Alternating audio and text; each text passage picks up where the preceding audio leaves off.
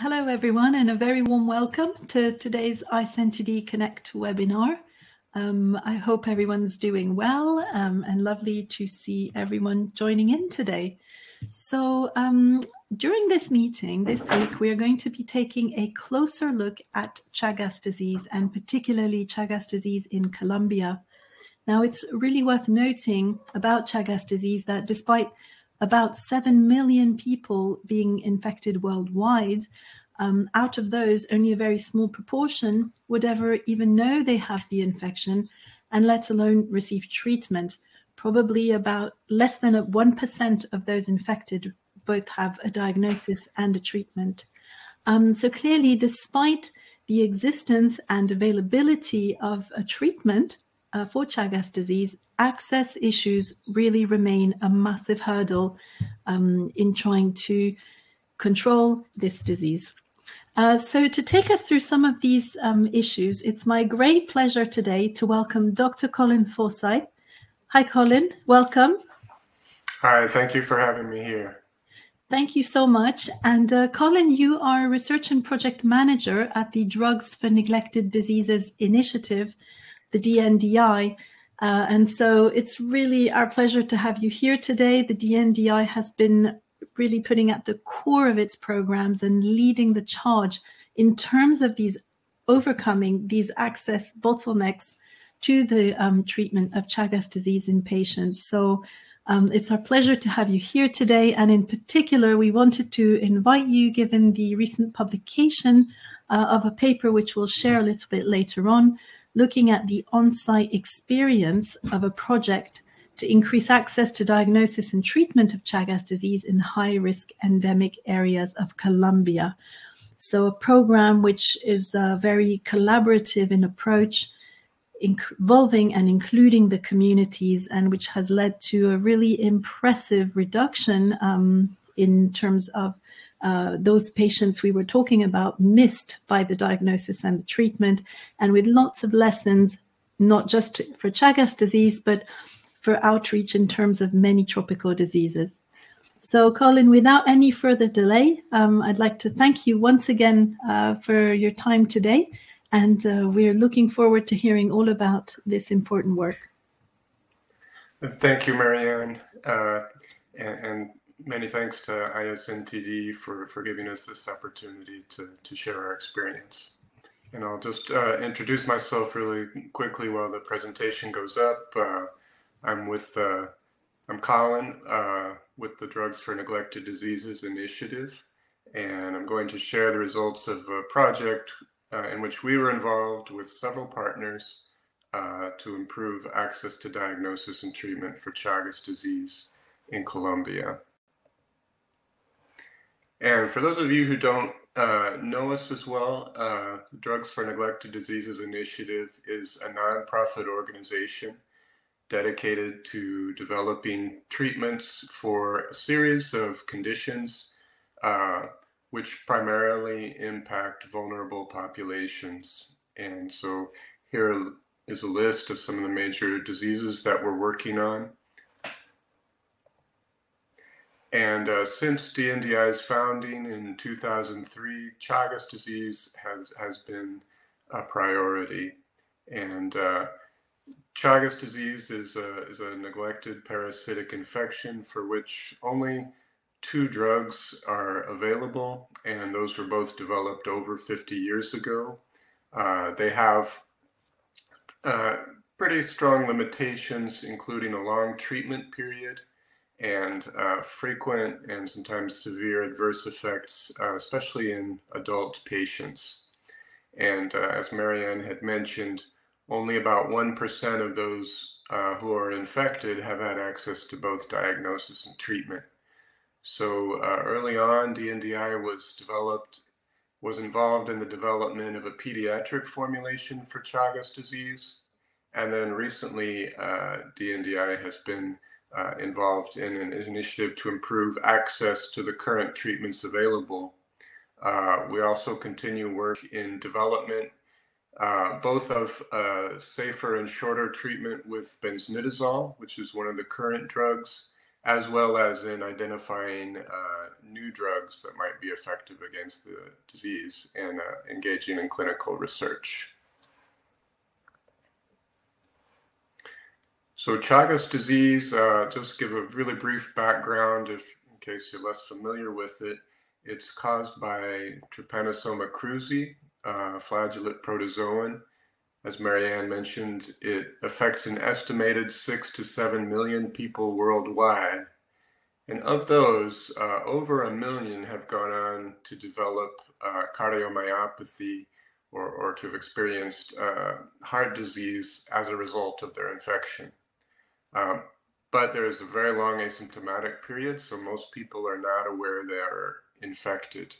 It disproportionately affects vulnerable populations, and it causes an economic toll of around $8 billion annually if we take into account both healthcare expenses and economic losses. Uh, there's really four main avenues of transmission. Uh, most people are infected through kissing bugs, uh, which are uh, called uh, pitos in Colombia and uh, various other names depending on what part of Latin America you're in. And these are nocturnal blood sucking insects, which many of whom carry the parasite in their gut. And what happens is when they when they bite someone at night, uh, they usually defecate after feeding, and the person who's sleeping uh, unconsciously usually scratches the bite site and unintentionally uh, introduces the parasite into their bloodstream and becomes infected. Uh, also, if the mother is infected, ranging between 1 to 5% of births uh, also acquire the infection. Uh, it can also be transmitted through blood transfusion and organ transplant uh, or through consumption of food that's been contaminated by triatomines or their feces. And there's really two main phases of the disease. Uh, the acute phase following transmission, uh, most of the time is asymptomatic. Uh, in some cases, though, it can be severe or potentially fatal. Uh, but usually, when there are symptoms, they resemble sort of other common illnesses, and so people don't recognize it as Chagas disease as such. And the upshot is that the vast majority of people don't realize that that they're infected. Uh, it then goes into a long chronic phase, which is indeterminate or asymptomatic, and uh, this is lifelong. However, uh, about 30 to 40% of people with the infection will eventually develop serious complications affecting the heart, digestive system, or in some cases, the nervous system. And usually the onset is 10 to 30 years after the initial infection. So this is just a map sort of showing the main areas that are impacted by Chagas disease. Uh, it is endemic in much of Latin America uh, so the countries with the highest burden tend to be in Latin America, uh, Argentina, Brazil, Mexico, Bolivia, and you can see Colombia there. Uh, but there's also a substantial number of people uh, with the infection who are living in non-endemic areas, uh, including uh, Europe and the United States. This is just a graphic which characterizes both the global burden and the neglect of Chagas disease. Uh, so if we look at the whole, uh, sort of the whole circle that's represented here, uh, this is, uh, you know, the entire population of people with T. cruzi infection, which we said was between six to seven million people, according to estimates. Uh, of those, a little over two million uh, would not be would not have an indication for antiparasitic treatment, either because they've already progressed uh, to severe complications or because of advanced age or other factors. Uh, but that still leaves in the gray circle there uh, about 4 million people who could be eligible for, for antiparasitic treatment. And then you can see an even smaller number in the green circle represents uh, the people who've had access to diagnosis and this is estimated to be less than half a million or less than 7% of the total.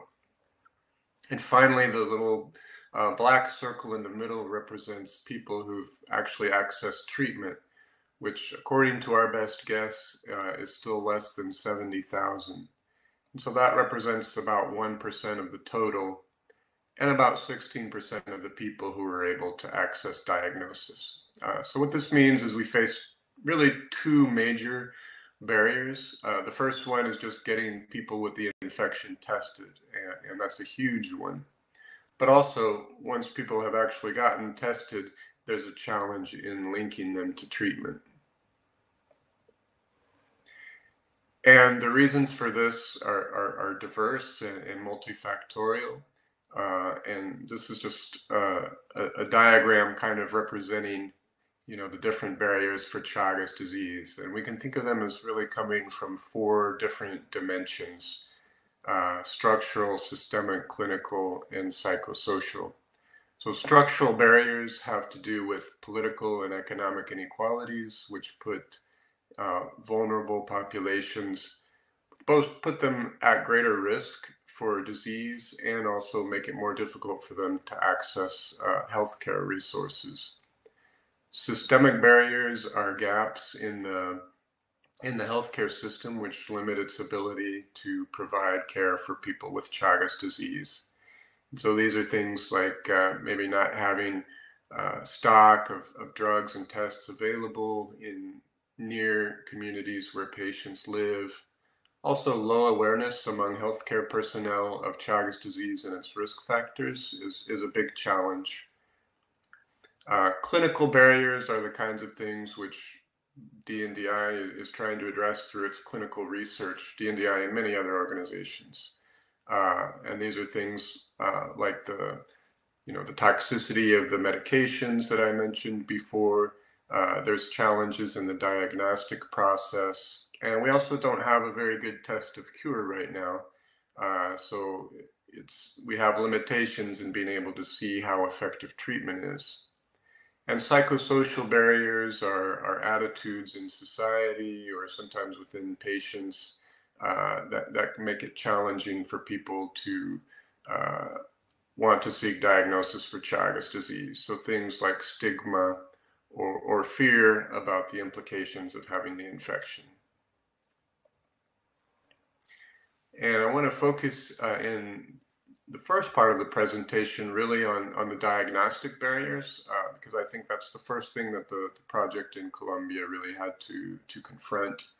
Uh, so we have you know, over 90% of the estimated patient population undiagnosed. And a big reason is just most people aren't feeling any symptoms and they aren't aware that they got in the infection. So uh, what, there's nothing that's driving them to seek a to seek testing from their healthcare provider.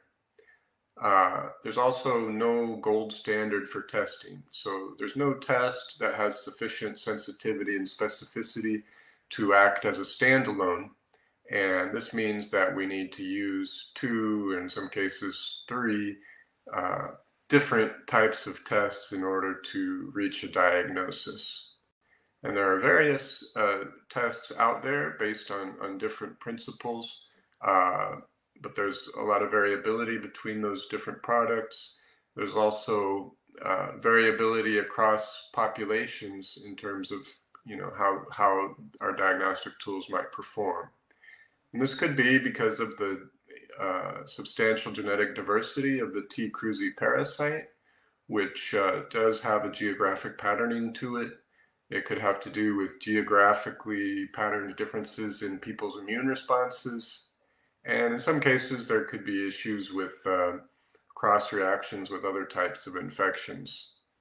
Uh, and also within the same population, you have variation in people's immune responses uh, to T. cruzi, uh, which might affect our ability to detect the infection.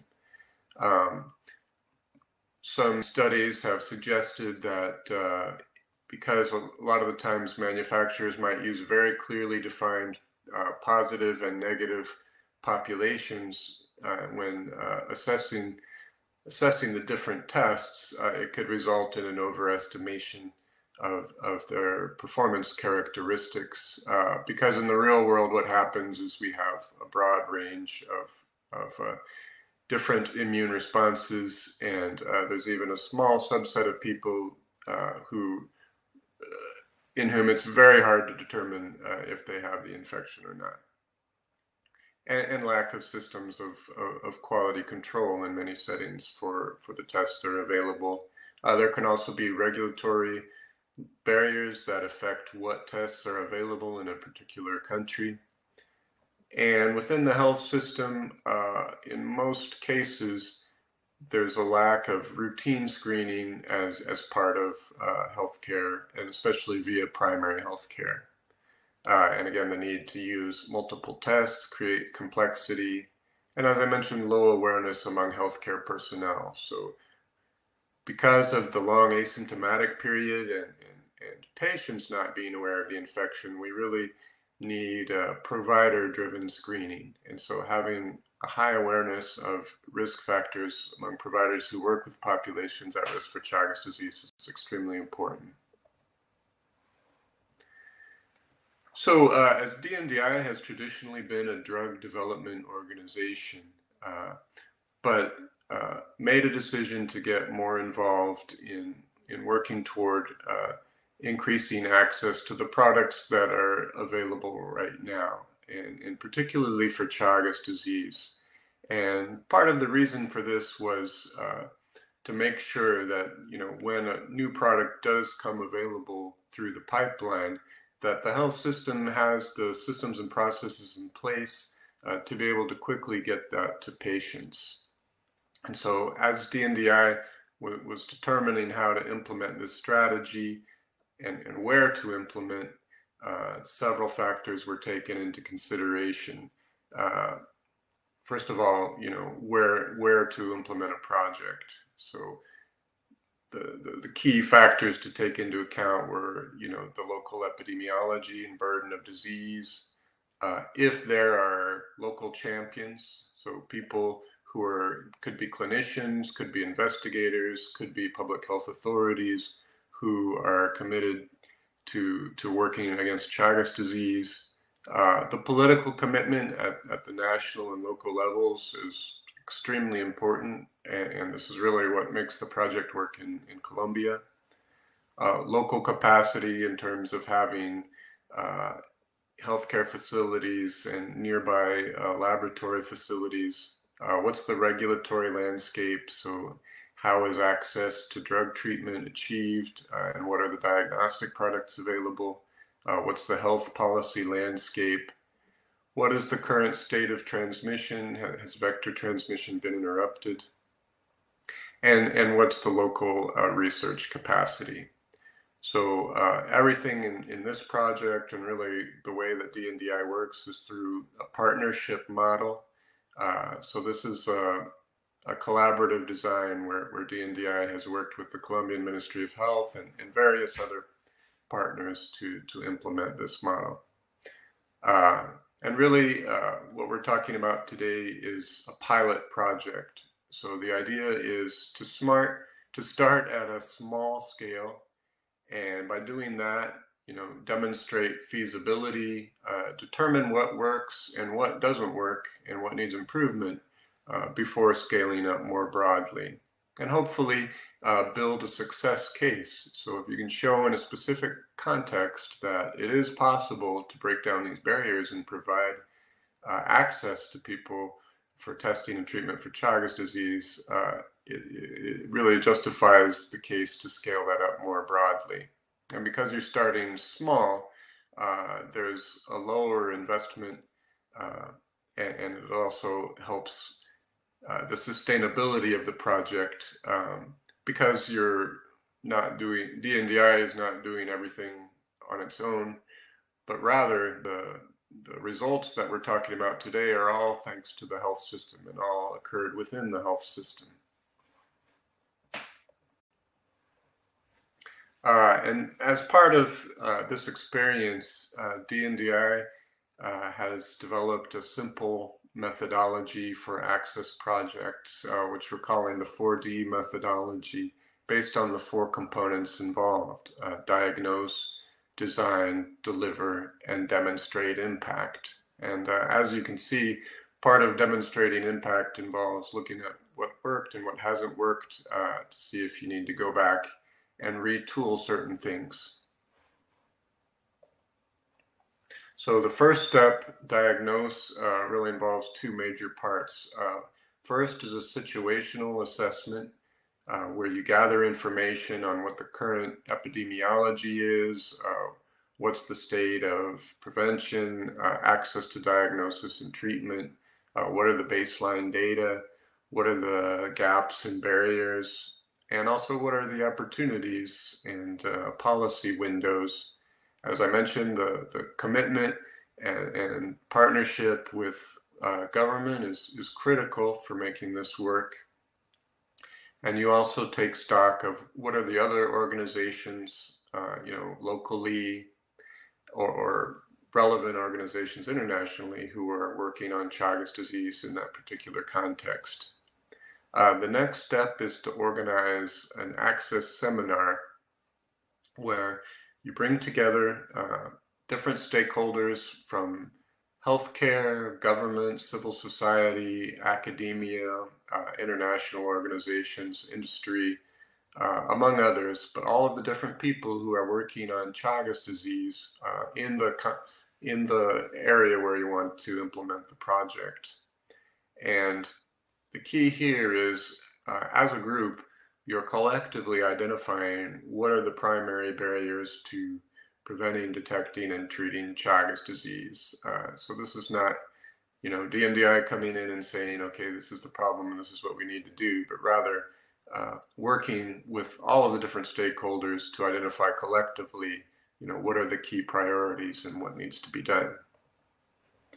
So in the next step uh, in the design process, uh, in response to the barriers that were collectively identified, uh, you develop responses. And uh, really, this is this is a process that goes beyond the seminar I mentioned.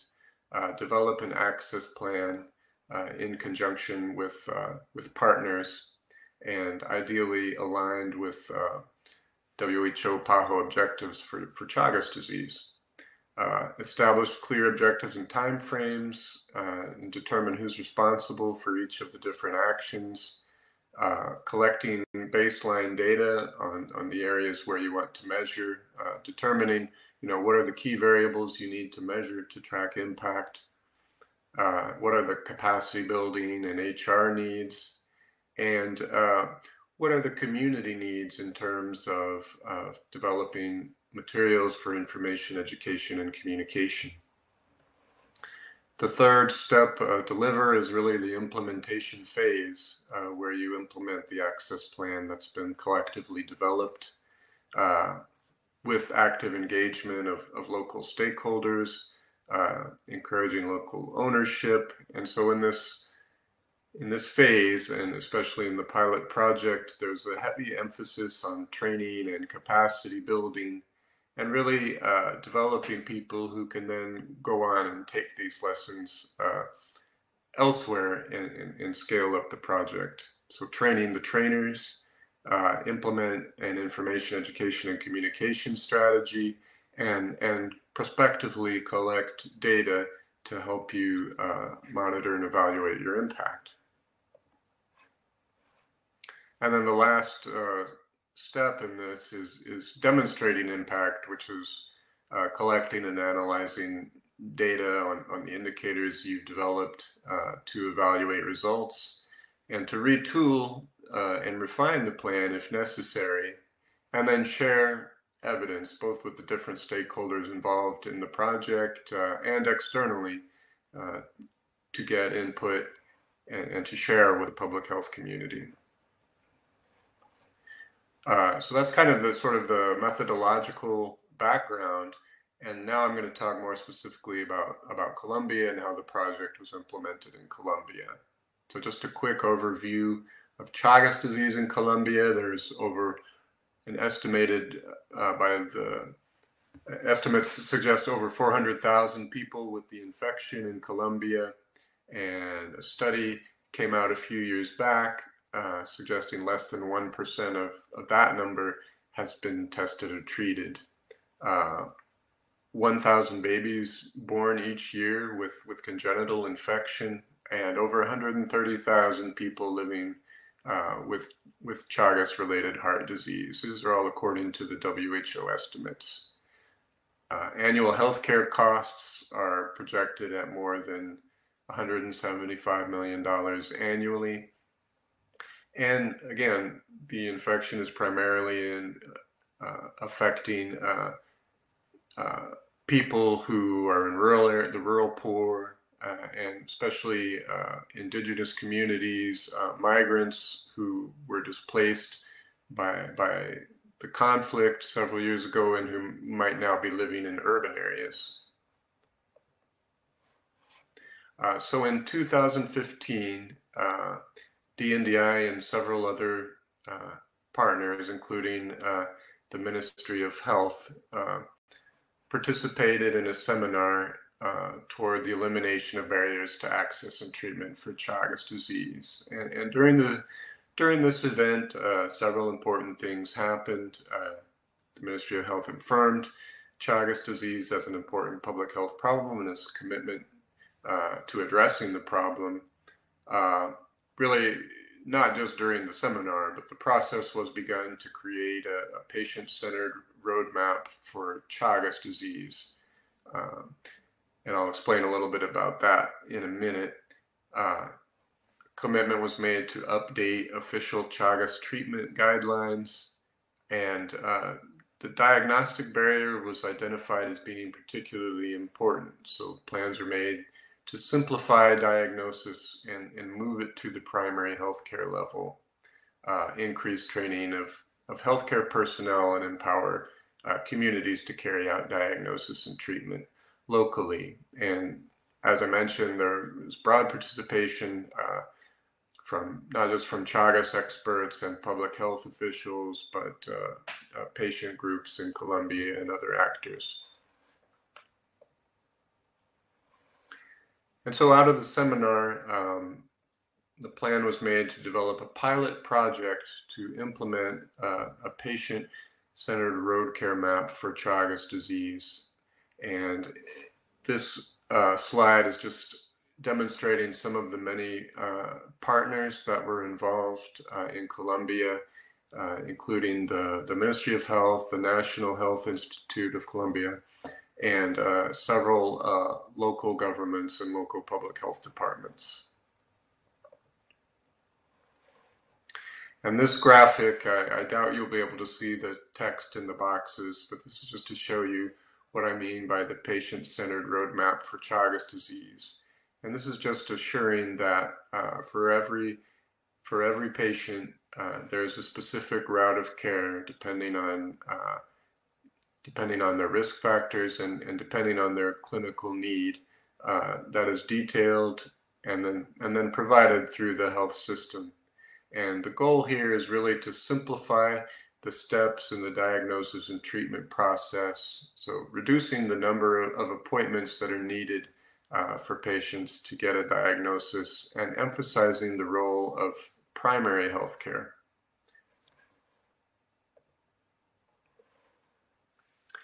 So, uh, really, the first critical aspect of the project was addressing the diagnostic barrier and simplifying the diagnostic process. So, with about 438,000 people estimated to have the infection and nearly 5 million people at risk, uh, there's a lot of people uh, in need of testing. And when I spoke earlier about the genetic diversity of, of T. cruzi, uh, there's also that diversity is reflected in Colombia.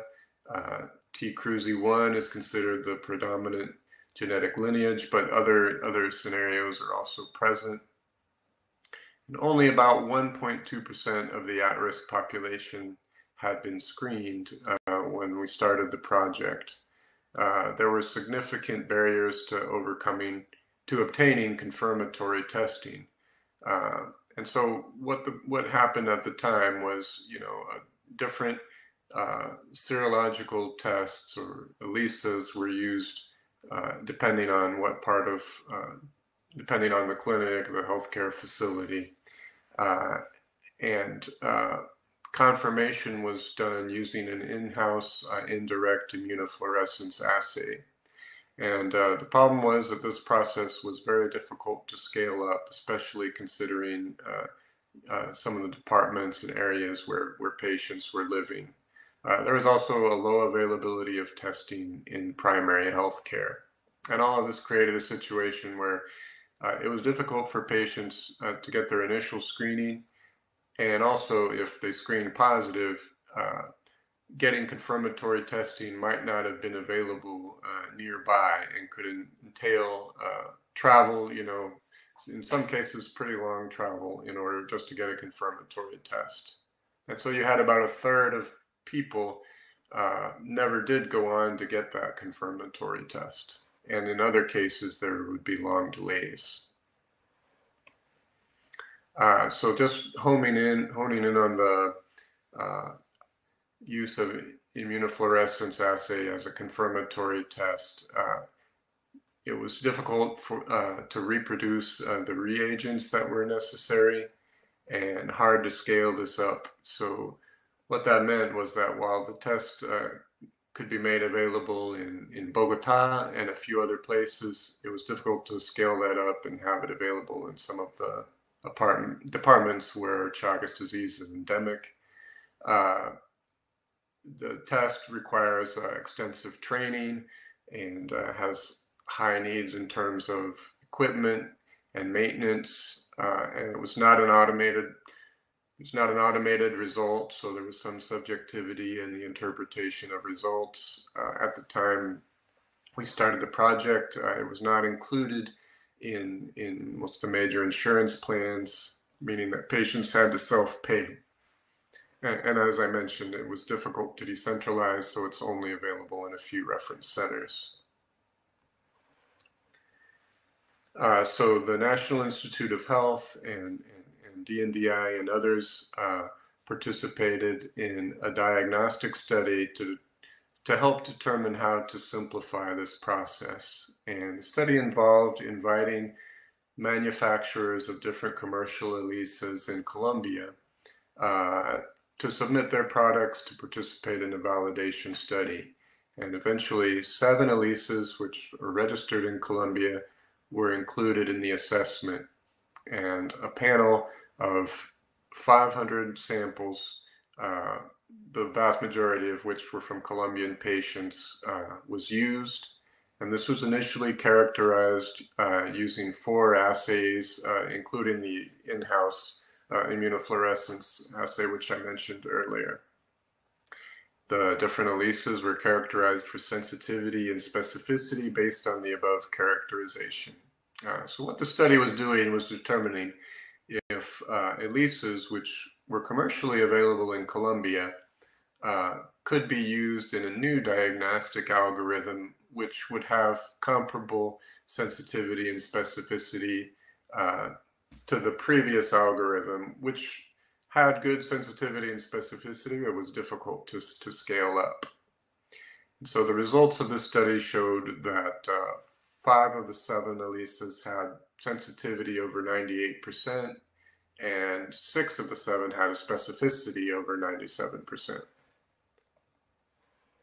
And so based on this, a new diagnostic algorithm was developed, which involves using two different types of ELISAs or two ELISAs based on different principles. And uh, the first uh, was determined a, a, total extract ELISA would be used, followed by a recombinant ELISA. And so the immunofluorescence assay was only reserved for those cases where these two uh, results were discordant. And this uh, is the new diagnostic algorithm that was implemented in the pilot project. And it was also used in the certification process for the elimination of, of vector transmission.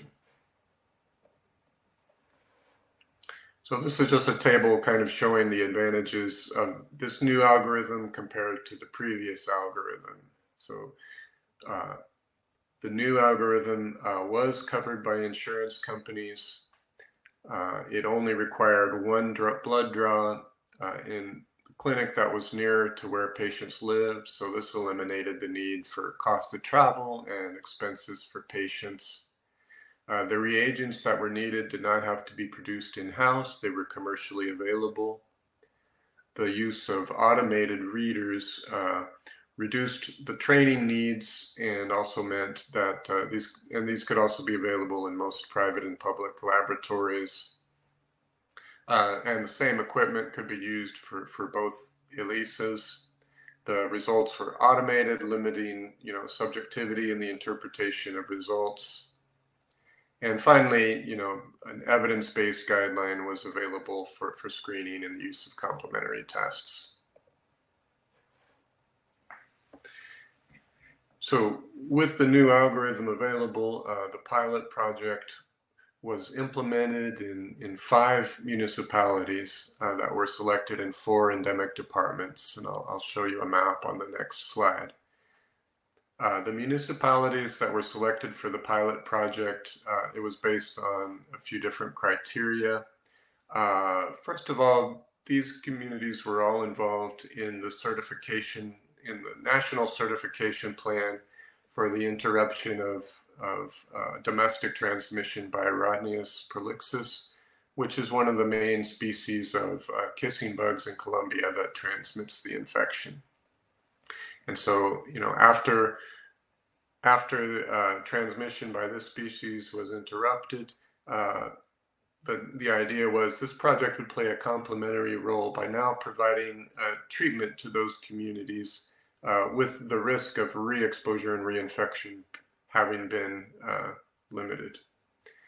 Uh, also, uh, interest of uh, departmental and municipal level authorities in participating in the project was taken into consideration, and what the history in each uh, municipality was in terms of healthcare processes for Chagas disease. Uh, so the municipality that were selected had different epidemiological contexts, also different healthcare levels. Uh, so while some only had primary health care facilities, um, in a couple, there were what's called in Colombia level two facilities or somewhat more advanced facilities. Uh, the projects were implemented in the different municipalities uh, in a staggered way between 2017 and 2019. And uh, key variables were developed and data collection was, was implemented. Uh, this is a map showing uh, where the pilot, where the municipalities participating in the pilot project are. Uh, you see that they're all in uh, in uh, the eastern part of Colombia, which is an area that's that's endemic for Chagas disease. Uh, these are some of the key indicators that were developed to track the impact of the project. so we wanted to know how many people were tested overall, how many among those were, were pregnant women, how many went on to get a confirmed positive diagnosis, uh, in how many cases did we need to get a third test because the first and second tests were discordant? Uh, were all the patients who were positive getting a consultation?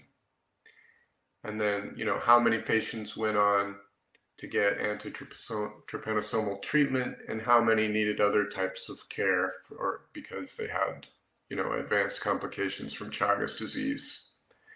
And then once treated how many people had to discontinue due to side effects? How many were maintaining the annual follow-up visits but uh, in addition to the numbers of people, uh, we also wanted to check the process times. So, how long was it taking between the time the test was initially ordered and the time that confirmed diagnosis was, was available? And then from there, how long was it taking between the time patients were diagnosed and the time they were able to initiate treatment? Other things uh, to consider were, you know, how many uh, how many people received training for testing and treatment of Chagas disease through the project. Uh, we also wanted to know the impact of demographic factors, uh, gender in particular. Uh, were there any differences between the communities of residents? and also uh, insurance. So Colombia has a system of universal healthcare coverage. There's two main types of insurance: uh, subsidized insurance, uh, supported by the government, and whereas other people have private insurance uh, through through employment or other means. And finally, uh, age. So the implementation of the project uh, really put a heavy focus on training and, and, capacity building, and also the development of information, education, and communication. So initially, uh, reference physicians for the project uh, were sent to Bolivia to receive training in Chagas disease uh, treatment and di- diagnosis and treatment from the Bolivian Chagas platform uh, which ha- already has substantial uh, experience uh, working with patients for Chagas disease. So we're grateful to them for, for, for providing that training. Uh, and then from there, formal direct training of healthcare personnel in the different municipalities in, in diagnosis and treatment of Chagas disease was provided and ongoing training and seminars also took place outside of the, the pilot project uh, in, in Bogota and other cities. Another important activity was ensuring that stock was available uh, for tests, also for drugs and, and other supplies. Uh, and also uh, in, in each of the clinics, uh, capacity building had to take place uh, to ensure that the patients who needed to start treatment also had access to all the complementary tests that are needed for treatment, such as uh, tests of renal and, and hepatic function. Uh, manuals, updated manuals were made available in each clinic. And then information and education materials were developed uh, based on focus groups and interviews with patients, communities, and, and healthcare personnel. And so printed materials were provided uh, on Chagas disease for, for healthcare personnel to use, and another set for uh, community members and patients, and also uh, radio broadcasts uh, talking about the availability of the project and uh, focusing on some of the important messages that came out of the focus groups. So, for example, uh, emphasizing that treatment for Chagas disease is available and, and is available for, for adults as well as children uh, in, in their communities. And this is just an example of uh, some of the information, education, and, and communication materials that, that were developed.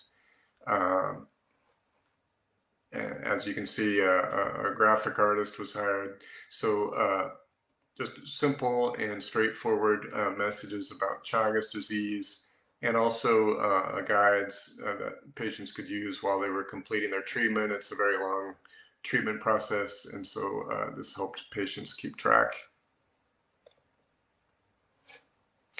Now I'm going to go in and, and, and talk about some of the overall results of the project. So in the five communities, the, the testing was implemented at, at different times.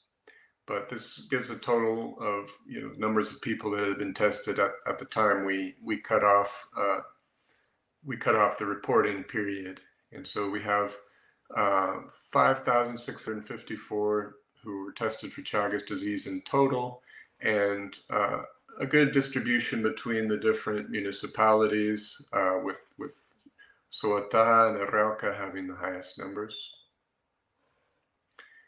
This graphic just shows the, the breakdown uh, by age group, first of all, and by gender. If we look at the age group, we can see that uh, about half of the people who were tested were between the ages of 20 and 39, and about a quarter were under 20. And these were the kind of results uh, that we wanted to see uh, because with Chagas disease, it's important to detect the infection early uh, before complications have time to develop. And really, the earlier you can catch it, and especially in children, the better. As you can see, there's a, a predominance of women uh, were were tested uh, compared to men. And a big part of the reason for this was that the testing was linked to the prenatal care that women were receiving uh, in these municipalities. And so over half of those women uh, were tested as part of their, their prenatal care. Again, this is important because uh, we want to ensure that pregnant women uh, receive testing if they have risk factors so that we can uh, catch congenital transmission. And also, just in general, uh, it's important to screen women of childbearing age uh, because if we can treat those women, all the evidence suggests that future births, uh, in future births, the risk of congenital transmission is pretty much eliminated. And uh, here, these are just the results in terms of uh, who was positive for, for T. cruzi. And again, these results are very skewed because uh, a lot of the patients already, there, there was suspicion of exposure in, in a lot of the patients already. So this is a clinical sample. Uh, but as you can see, of all of the people who were tested, uh, between 11 and 12 percent had uh, confirmed uh, T. cruzi uh, diagnosis, T. cruzi infection. And uh, we saw a much higher rate among men compared to compared to women. Also, as you see in Chagas disease, typically the prevalence increases with age. And so in the highest age groups, we, we had a very high prevalence. This is just a graphic showing uh, what was going on with the process times. Uh, so uh, at the beginning of the, the arrow there is, is when the medical order was provided. And at the end of the arrow would be when the confirmed result was available. And so the total process time was now taking uh, 19 days, uh, which was an excellent result as, as I'll show you a comparison, you know, before what we had with the baseline uh, in, in a subsequent slide. Uh, it was slightly longer for people who had positive results, uh, which is understandable uh, due to the need for, for a second test. And we also saw that it was uh, longer for men than women. Part of that might be confounded by the fact that more men were, were positive.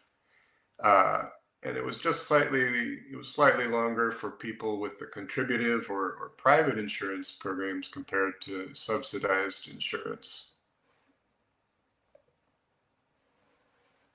And this is just sort of a graphic comparing uh, numbers of people that were tested uh, at baseline and after the project implementation.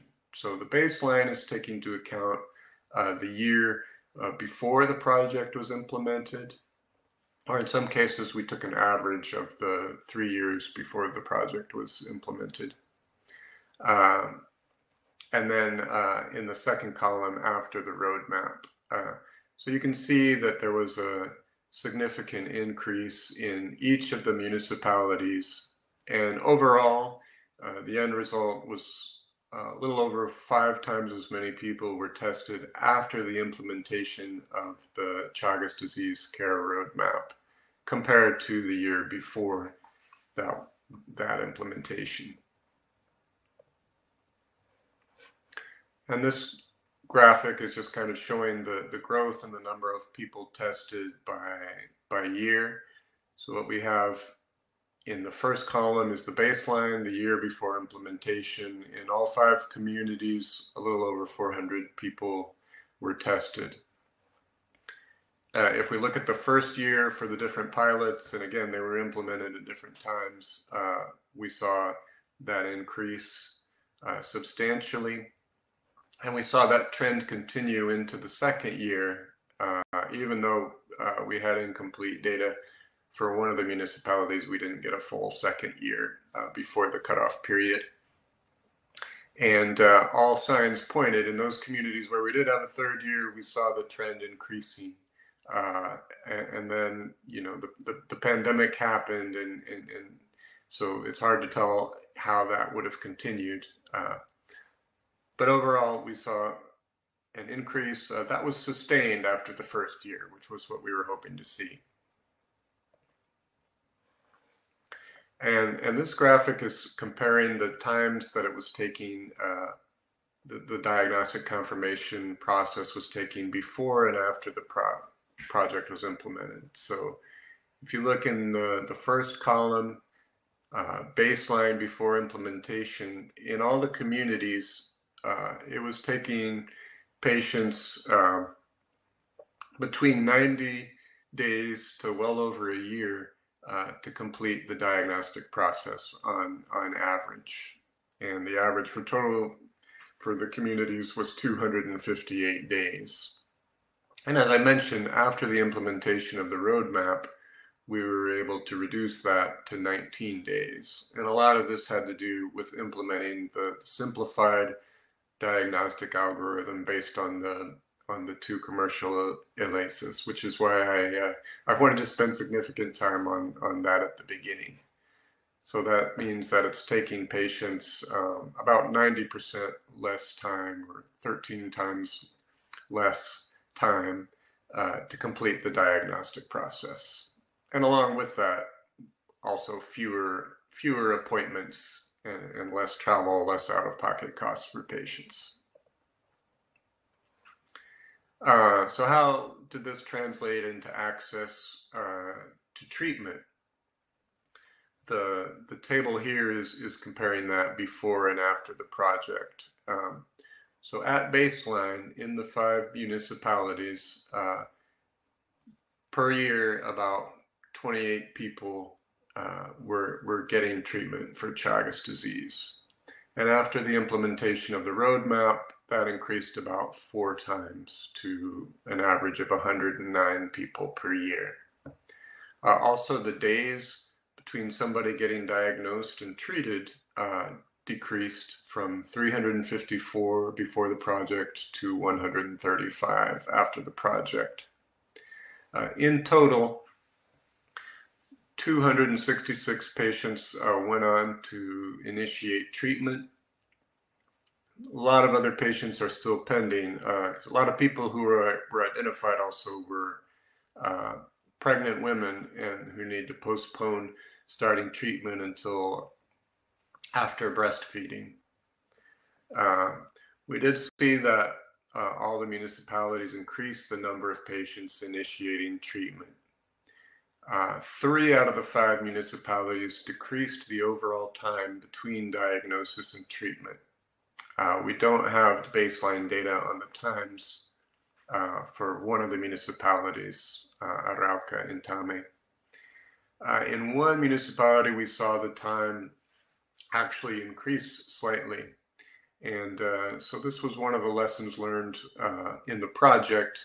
Um, once you start testing more people, uh, you have a demand for treatment increase.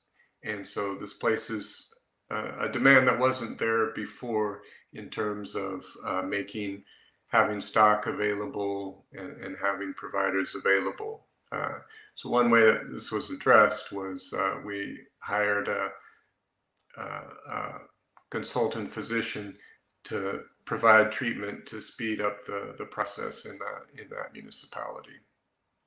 Uh, over 70% of the patients who were treated were female, and 31% were under the age of 39.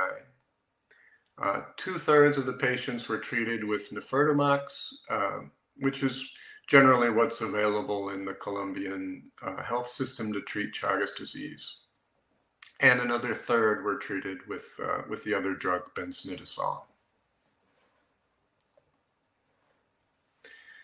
So to sort of summarize uh, what the impact of the project was, uh, a simplified testing process was implemented with a 92% reduction in wait times for test results. It's been scaled up to 22 new municipalities in Colombia so far, and uh, over five times as many people were tested per year compared to baseline. And I guess the, the main uh, challenges or lessons learned uh, having the political commitment of authorities and a collaborative design are critical, that all activities take place as part of the normal healthcare process, once you increase access to testing, it may reveal new bottlenecks. Uh, simplification of the treatment process still remains an urgent need. Uh, it's a lengthy process with a lot of complementary testing required. Uh, there's an interesting gender dimension to access, which uh, you can see in some of the results. And if we went on, we could still improve this process using rapid tests and possibly simplify and speed it up further. Uh, the project is currently being scaled up to other departments in Colombia, and I think special strategies will be needed to reach uh, the many patients who are living in urban areas and also uh, indigenous communities and, and, other communities who have particular access challenges. And uh, sorry that that went so long, but I'll, i will i will stop there and hopefully we, we still have a few minutes for questions.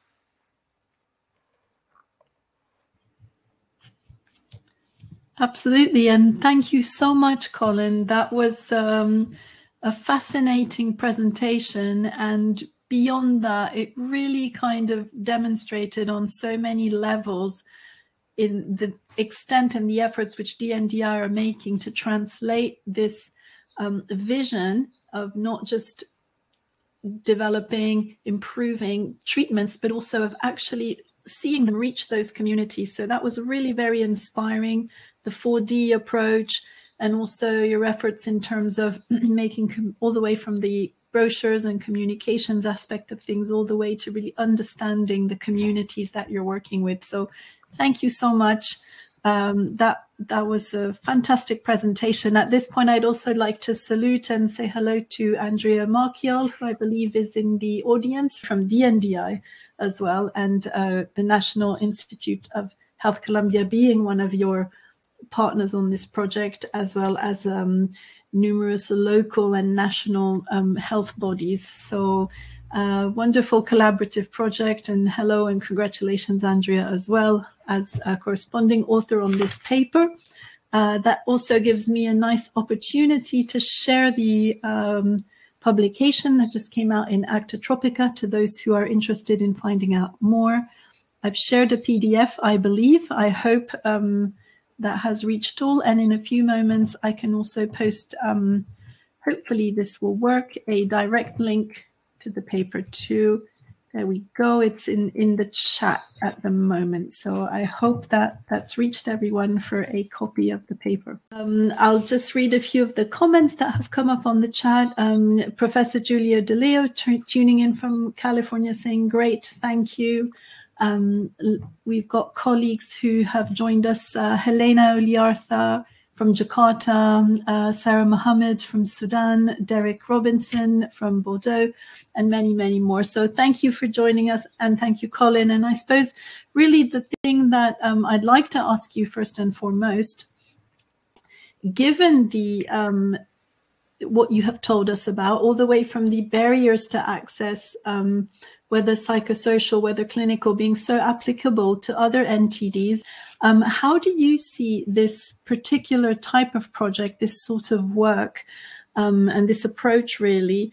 How do you see that working for other diseases? And do you have specific diseases in mind? Or in fact, um, if you wanted to extend the pilot to more widely to Colombia, how would you see the next steps? Um, thanks, Marianne, and thank you. I also want to send a big shout out to to Andrea, who uh, manages our access projects, and really much more than me is the the person that makes all of this happen.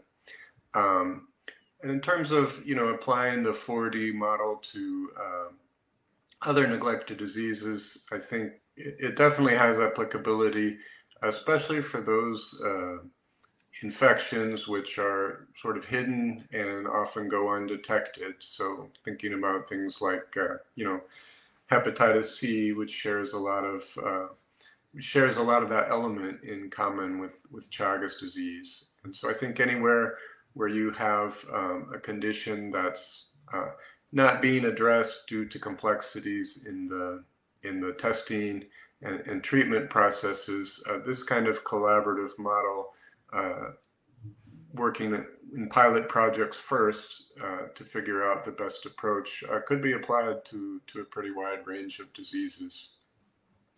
And uh, just to, to speak a little bit more about the scale up process. So, so Colombia has a national plan for interrupting transmission by the vector, which takes into account uh, a large number of communities. And so as that as that process moves forward, which which it has uh, very impressively, uh, sort of the role is is of this project is to to scale up and provide treatment to, to communities where, where the vector transmission has been interrupted. So, so eventually that could be a high number uh, of communities in the endemic uh, area of Chagas disease for Colombia. Wonderful, and uh, we we do hope to share this approach far and wide um, because there's really a lot of lessons um, embedded there. Thank you for that. Um, something that we did pick up on during your presentation, which was quite interesting, contrarily to perhaps other neglected tropical diseases, um, in your program, you were able to reach women more than men interestingly, because of the linkages with the antenatal care. And so I was just wondering whether you could elaborate a little bit more um, in terms of um, the gender dimension uh, with regards to access and treatment, um, specifically for people with Chagas disease. Uh, yeah, yeah. There's a lot of there's a lot of different things at work there. So uh, while we did see, you know, a higher proportion of of women who were tested in the project, it, it, doesn't mean that access was easy for all of the women in those municipalities. Uh, so just through uh, focus group studies and other ways, you know, we know that some women had challenges in order to be able to get to the clinic. Uh, you, you know, they're alone with with their kids all day. The clinics are only open during the day, and so it would be difficult for them to get away. So, so there's still uh, access issues to address there. And on the other hand, uh, oftentimes we've seen in different Chagas disease projects that we get more women uh, coming forward to initiate treatment than men, and uh, part of that might have to do, you know, with the fact that it's an asymptomatic disease and uh, I think there's, you know, in the literature, there's some suggestion that, that men are more reluctant to start treatment unless, you know, there's really dramatic symptoms, uh, which in Chagas disease, you know, we want people to get treatment before they experience those, those symptoms. Uh, so uh, a lot of, you know, when we conducted focus groups, some of the men mentioned that, you know, when treatment took place, there were a lot of restrictions on foods, on, on alcohol, and on things like that that really limited their their social participation in their communities.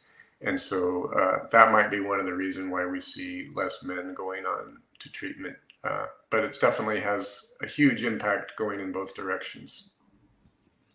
That's really interesting. There's lots of very different things at play here. Um, and good to untangle this a bit. Uh, we had an interesting question here from Dr. Damien Perez Mazliah.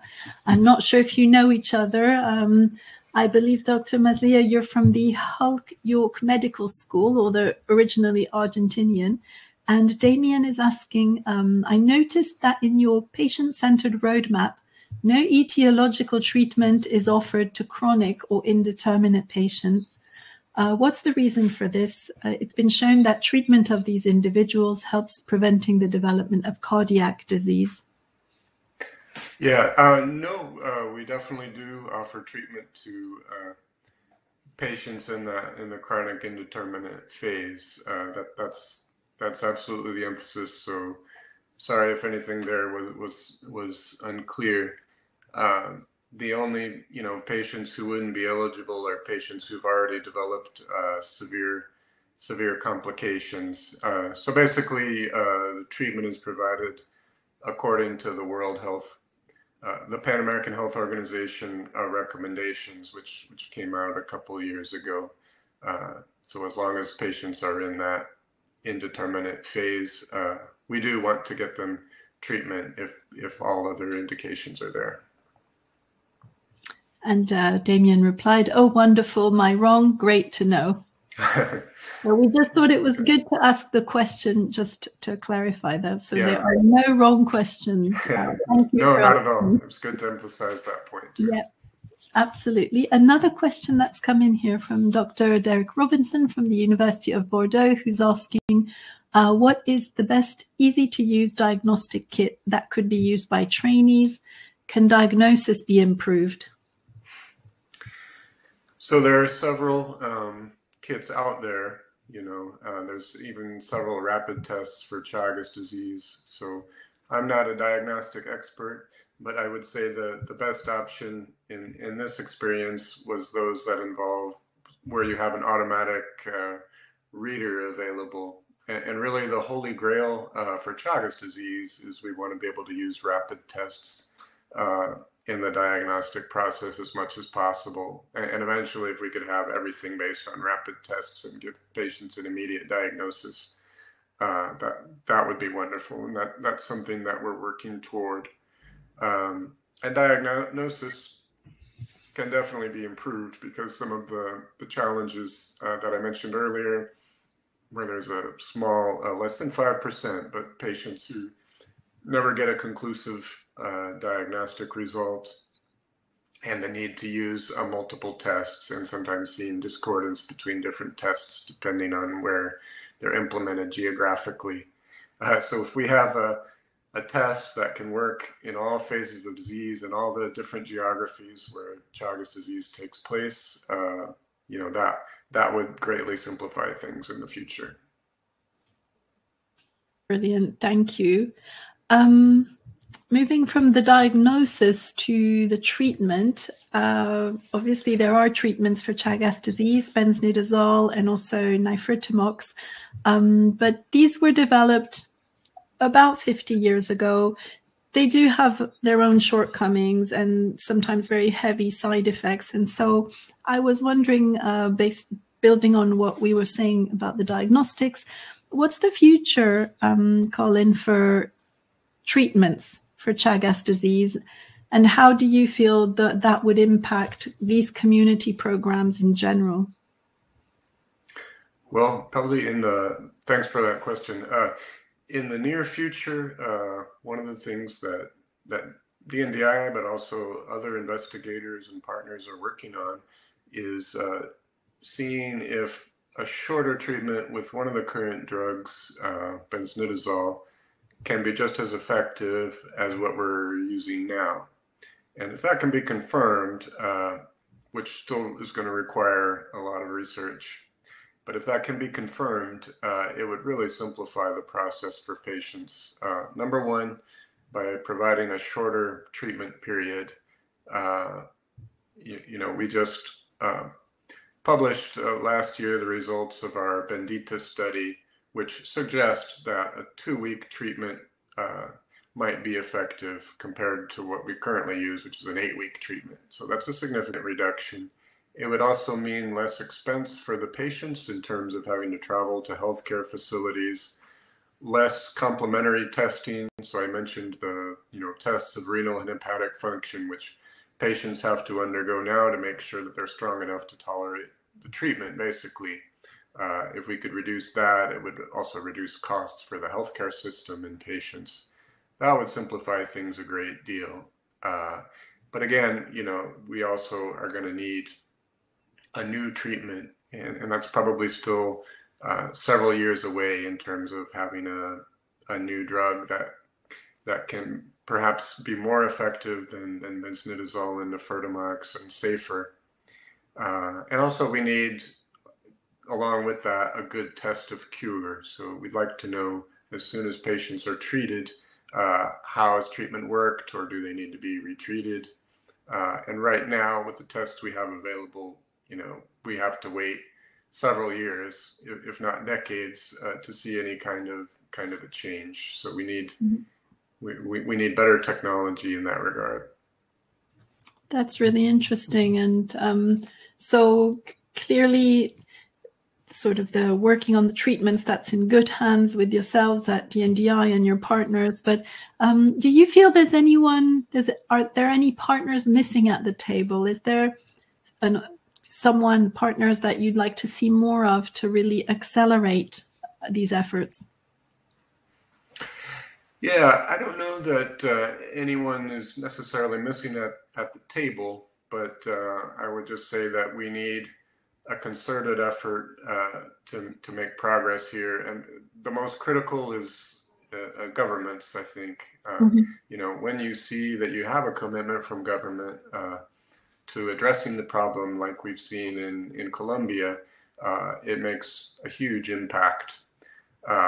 but in other cases, I mean, Chagas continues to be an invisible d- disease uh, both because biologically, because of its asymptomatic period, but also uh, politically, uh, because people who are primarily impacted uh, don't always have a strong political voice.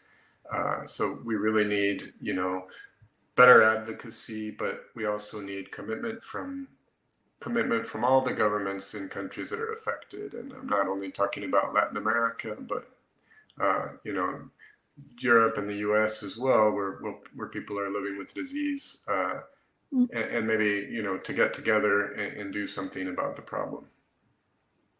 That's wonderful, um, and maybe further collaborations with completely different sectors, maybe um, of the built environment, vector control, and so forth. Have you? Do you feel there's enough of those? Is is Chagas um, well implanted in the agenda of constructors or um, municipalities tackling vector control and so forth? Yeah, well, that that raises a whole other issue. Um, you know, the I didn't go into this a lot in my presentation, but the, the risk of exposure uh, to kissing bugs is is really dependent on housing conditions. And so, really, it's been shown that the best way to sustainably prevent the disease is, is improving housing conditions in, in rural areas. Uh, but most of the time, we've opted for, for using pesticides hmm. uh, in, instead, which is, is, certainly a lower cost solution. Uh, eventually, I mean, Chagas disease, you have to see it as, as a social a social problem, and so addressing it has to be linked to a broader social agenda in which you know housing is improved, uh, uh, uh, the environment is is is cared for, and uh, sustainable uh, jobs are available for people in affected communities. Um, so really, just trying to address Chagas is only one small piece of that. Uh, mm-hmm. Is going to run into those kinds of barriers, and so really, it, it just has to be part of a broader agenda. Wonderful. Thank you. And uh, John Gibb, who's uh, joined us, is also asking in the chat is this therefore not a Go Colombia priority? Oh, oh sorry, I'm not sure I understand. Uh... Well, I just at the same time also very quickly tried to Google Go Colombia. I thought maybe is like a um, a campaign or a hashtag that I'm not very familiar with. But um, perhaps, John, did you mean Colombian government, or um, maybe you could add to your comment in the chat if you have the the a moment to do so. Oh yeah, my, my apologies. I'm just not familiar with uh, with Go Colombia. I thought it was just me. I thought it was second nature to those involved in the country.